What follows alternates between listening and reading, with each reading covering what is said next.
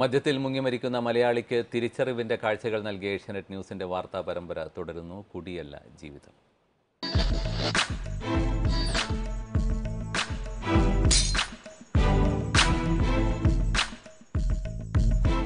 തിരുവോണത്തിന് മദ്യം ഉപേക്ഷിക്കുമെന്ന് Alappuzha Neerkunnam S D V സ്കൂളിലെ കുട്ടികൾക്ക് നൽകിയ ഉറപ്പ് പാലിച്ചവർ അവരെ കാണാനെത്തി.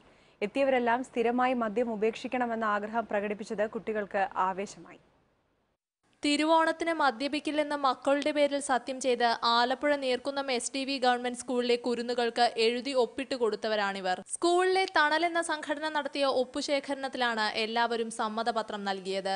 മദ്യം പൂർണമായി ഒഴിവാക്കിക്കൊണ്ടുള്ള ജീവിതത്തിലേക്കാണ് നീങ്ങുന്നതെന്നാണ് മിക്കവരും പറയുന്നത്.